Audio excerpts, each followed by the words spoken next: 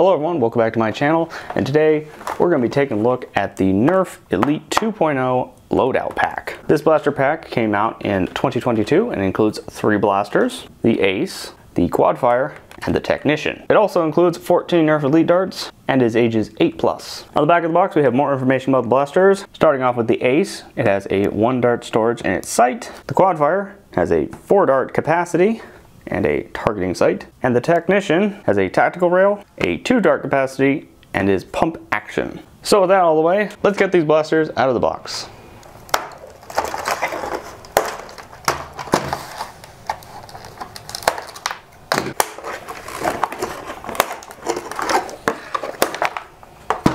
Alright, so here we have the loadout pack completely unboxed. And by the way, the instructions on how to use and load the blasters are on the bottom of the box. Now let's get a better look at the contents of the blaster pack. Starting off with our Nerf Elite darts, you get 14 darts total, 7 of the regular Nerf Elite 2.0 darts, and then 7 of these inverted color darts. The first blaster we're going to take a look at is the Ace.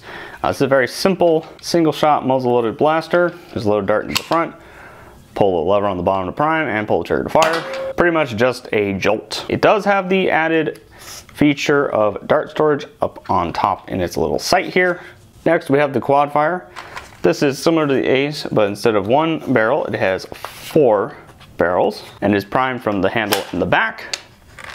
And it fires one dart at a time.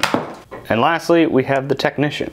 This blaster has a two dart capacity, uh, but is pump action. Other features of the Technician include a tactical rail on the top, where you can slide various accessories on there. Seems to hold it pretty well. And also something you don't mention on the box is its stock attachment point.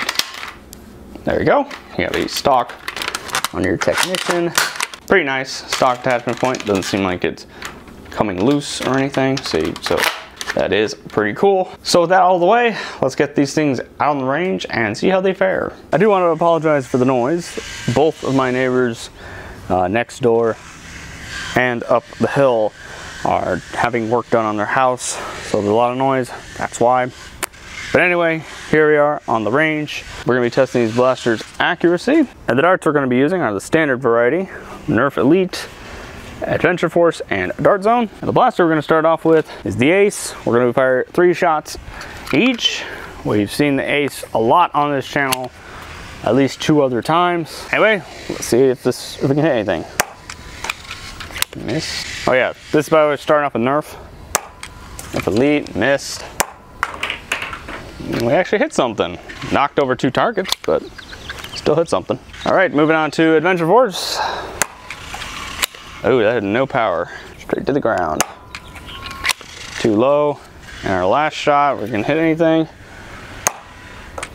No.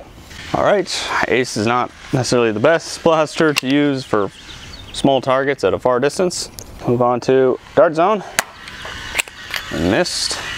There's potential, potential to hit something. Oh, hit the big target. And we're gonna go for the center. All right, so the Ace wasn't the most accurate blaster, and by the way, I completely forgot, that is your sight picture. So let's see how the Quadfire fares. I also noticed the Quadfire has a bottom tactical rail. Tried to put a foregrip on it, but it won't fit because it's too long in the back. But anyway, we're gonna be firing four shots out of this blaster, four shots each. Probably gonna be a little hard to aim because it fires top to bottom. Straight down, too high, to the left, and straight down. Okay, let's see how Adventure Force fares. Too low, too high, or too low. Almost. This thing is very hard to aim. Lastly, Dart Zone. Too low, too to, to left. Oh, I fired all four? oh, one fell out of the barrel. I don't know which barrel that was, but we're gonna fire one more from the bottom because it fell out of the barrel. And missed. So Quadfire also isn't really accurate. It's hard to aim due to its smart AR nature. So let's see how the Technician fares. Uh, for this blaster, we're gonna be firing four shots each, so one reload. Missed. We hit the target. Didn't fall down, but we hit the target. Uh, moving on to Adventure Force. Low and low. Oh, hit something. Moving on to Dart Zone. Probably not gonna hit anything with Dart Zone. Bottom barrel for sure is definitely weaker than the top barrel. We hit something. Always the last shot out of, out of the, out of the reloads that uh, we end up hitting something. Anyway, with that all the way, let's move on to my final thoughts. Before we talk about the blasters themselves, let's go over where I bought it and how much I spent. I purchased this blaster pack at Walmart for 19.97 USD. At the time uh, I bought this blaster pack, which was a while ago, it was a Walmart exclusive. It does appear other companies are selling this. I'm not sure if these are second-hand companies. I know on eBay it's definitely second-hand, but some of these other companies are, I think are selling it. At least where I live, you can only buy this blaster pack at Walmart. All right, so I'm gonna start off by talking about the blasters, then we'll move on to the blaster pack itself as a whole. First blaster we're gonna talk about is the Ace. We're just gonna get this one out of the way real quick. It's pretty much just a Jolt, except it has a front sight that also doubles as dart storage. Uh, has a pretty decent prime, decent trigger. Not the most comfortable grip. You can also buy the Ace by itself. Overall, decent blaster. And we've reviewed these too many times, so we'll just move on to the next blaster. Let's move on to the Quadfire. The Quadfire is another story. You can't buy this blaster by itself. It only appears in two blaster packs, those being the loadout pack and another pack called the stockpile pack, which is the only other pack that the Quadfire is included in. The blaster is pretty decent looking. I think it looks pretty cool. It's like a heavy, a heavy futuristic pistol. Uh, the grip is pretty nice, pretty comfortable. The prime is not too heavy, pretty smooth. The trigger, trigger is a little clicky and a little stiff. That could just be on my blaster. This blaster is, uh, it's okay when it comes to reliability.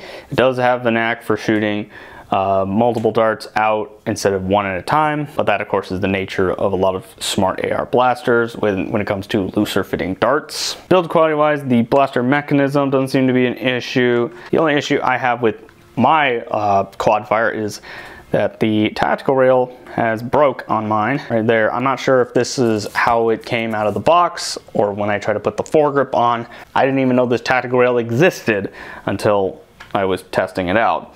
Complaint I'll have about this blaster is the tactical rail. Uh, I do have a lot of accessories, um, but none of them will fit on this rail, specifically because they always run into the little handguard here. So it kind of makes this rail slightly useless. Overall, it's a decent blaster.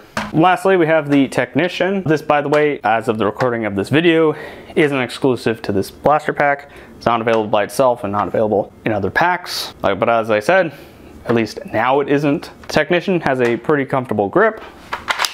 The prime is pretty nice.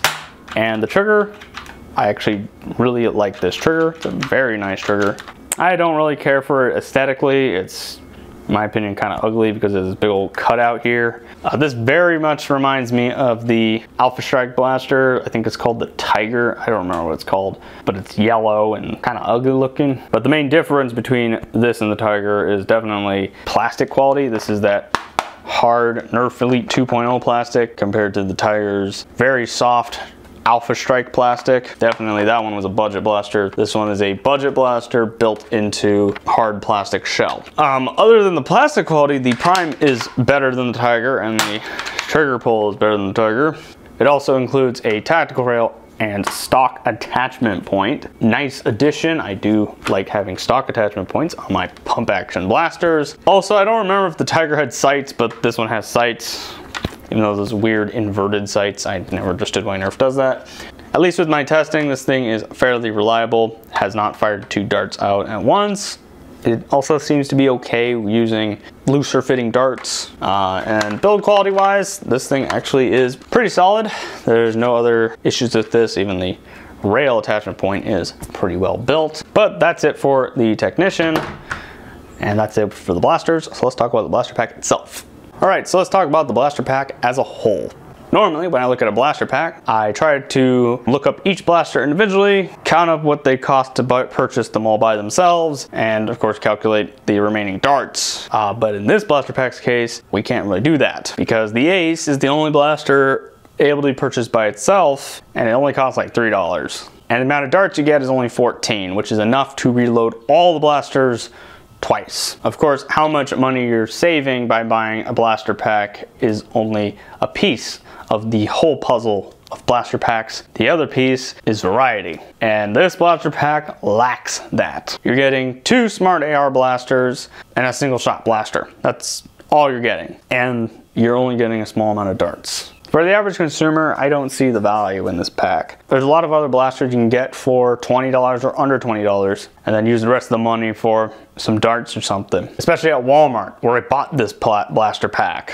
I guess the only reason you would buy this pack is if you're a collector and you want an exclusive blaster, which in this case is just the Technician because the Quadfire comes in another pack, the stockpile pack. So yeah, I actually wouldn't recommend the uh, loadout pack because there's not a lot of variety, not a lot of darts, and it costs $20. But anyway, um, those are my thoughts on the loadout pack, and I'll be of the review. Comment your thoughts about this blaster pack down below. Also comment what else you want to see on the channel, and if you want to see a uh, performance review on this on this blaster pack, uh, comment that down below. If enough people want to see that, I'll make a video on it. Be sure to check out my review on the Nerf Elite 2.0 Tactical Pack. Be sure to check out my um, other reviews. I'll have both those linked at the end of the video. Thank you all for watching, and we'll see you next time.